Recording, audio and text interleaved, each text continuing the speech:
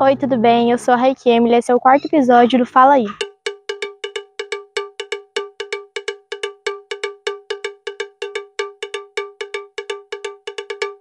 Hoje eu tenho o prazer de conversar com a Nailuane Beatriz, coordenadora do setor de cultura de Novo Horizonte do Norte. Boa tarde, Nai, tudo bem? Tudo bem. Muito obrigada por aceitar participar do nosso quadro. Obrigada, eu que agradeço pelo convite, fiquei muito feliz é, pelo convite de vocês. Nai, você nasceu aqui em Novo Horizonte no dia 13 de novembro de 2003. E quando nasceu essa paixão pela dança? Bem, eu tenho algumas recordações que são desde eu muito pequenininha, sempre muito ativa nessa questão de dança, envolvida nos projetos. Então, eu não tenho uma estimativa em números, mas eu sei que desde de muito nova eu sempre participei. Qual, qual estilo ou ritmo de dança você mais gosta de dançar? Eu gosto muito e me identifico com dois estilos de dança, é, com jazz e também com balé clássico. Conta pra gente como foi participar dos primeiros festivais. Para mim foi uma grande emoção, porque é, o meu primeiro festival em que eu participei foi em 2017 e, para nossa surpresa, como um grupo, levamos a premiação de primeiro lugar. Qual é o máximo de horas que você usa para criar uma coreografia? A questão do processo de criação de uma coreografia, é, ela varia aí entre um dia ou até mais, dependendo. Por exemplo, tem solos, né, que é uma modalidade solo, é, eu já levei cerca de um dia para poder criar.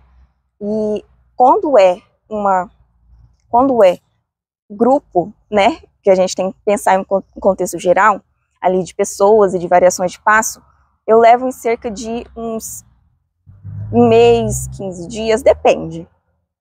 E quando veio o primeiro prêmio dançando? O primeiro prêmio em que eu pude me destacar foi no Festival de Juara, com o tema cinema, em que eu levei é, a premiação de melhor bailarina. Lógico, também teve outras premiações é, de grupos, de duo, com minha parceira Beatriz, e mas como bailarina destaque foi no Festival de Juara, no ano de 2018. Quantos prêmios você coleciona no total? Solo, duo, trio ou grupo? É, estimativamente, cerca de mais de 30, porque é, esse ano a gente como coreógrafa, eu levei seis troféus e trouxe seis troféus aqui para Novo Horizonte do Norte. Ou seja, então desde 2017 eu venho participando como dançarina, como coreógrafa, então são bastante troféus. Como é sua vida hoje sendo coordenadora do setor de cultura e fazendo faculdade? Minha vida hoje, ela é extremamente corrida. Por quê? É, sai do trabalho, já tem que se preparar ali para a faculdade, estudar. Então a gente sempre está ali buscando, né, cumprir com todos os prazos e todas as responsabilidades, tanto do setor de cultura quanto da faculdade. Quais são os planos para a cultura aqui de Novo Horizonte do Norte?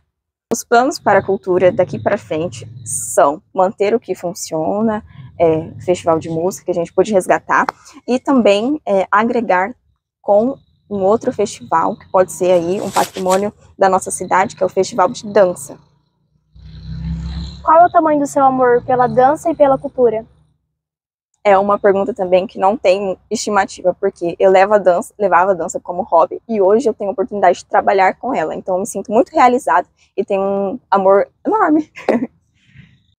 Alguém marcou sua vida desde que iniciou a dança? E quem você se inspira?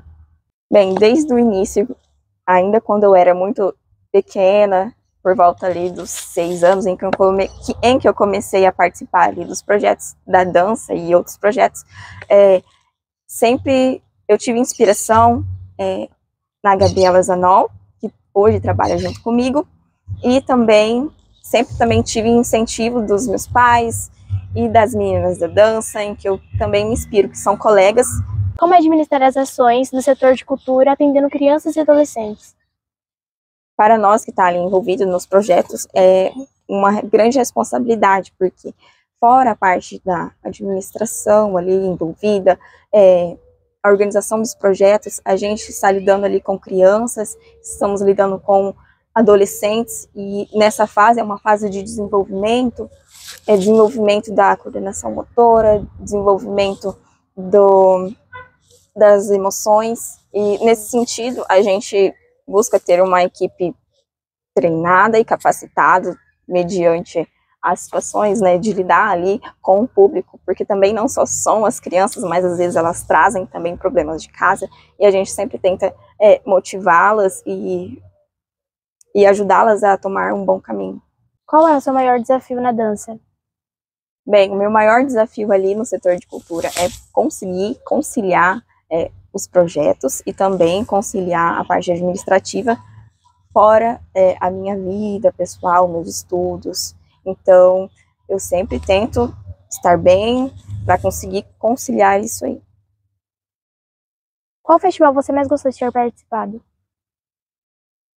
É isso aí também é uma outra pergunta muito difícil porque todos têm uma história envolvida, todos têm é, meses de preparo. Então é muito difícil falar assim, ah, esse festival aqui me marcou. E assim, cada um tem uma história muito legal, cada um tem uma vivência diferente. Então, todos para mim são bom, bons. Quando você cursou o pré-1, sua professora relatou que a sua coordenação motora era ótima. Você se lembra?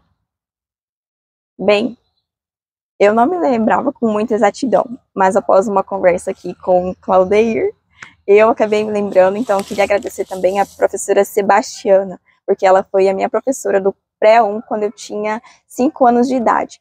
Então, para mim, isso aí é uma novidade, porque eu não sabia que eu era tão boa assim como ela relatou.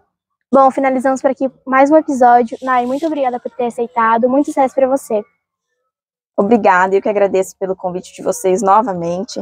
É, eu sinto muito realizada por estar aqui hoje. Se você gostou desse vídeo, se inscreve no canal e tchauzinho.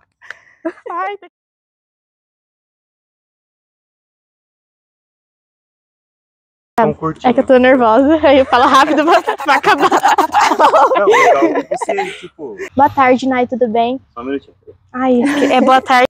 Boa tarde, Nai, tudo bem? Tudo bem. calma. Pode ir? Quando você quiser. Não, calma. Se você gostou desse vídeo. Ficou legal, eu acho. Um, dois, três. Refaz ela. Primeiro prêmio do quê? Primeiro prêmio. Não vou mentir. É uma. Peraí. É uma Vou mentir. difícil. Não aguento mais. Não aguento mais. Não, velho. Coloca na é. Vai lá. Quais são os planos pro futuro daqui de Novo Horizonte do Norte? Quais são os planos daqui de Novo Horizonte? Ai, meu Deus. Quais são... Voltou. Ai, Pode, pode mudar a pergunta. Pode Coisa- ela. É, Eu me inspiro em muitas pessoas, mas filha do. Volta, volta, volta, corta, corta. Não o tá explicando, é parentesco. Bem, é. volta, corta, corta. Meus cortes. pode comentar assim, além do que você pensou. Das emoções. E aí. E aí? Que que é isso? E aí? mano? Hum, peraí. Agora eu tô. mesmo. Uhum. Nossa, tá... Você se lembra das atividades na pré? Você lembra dos seus... Voltou pra um. Ai, que ódio. Que coisa. Não, não. Tá. É. Pode ser mais devagar. No- Calma. Mas... Saiu. Aí vai lá, ele fala, não, vou ter que gravar de novo.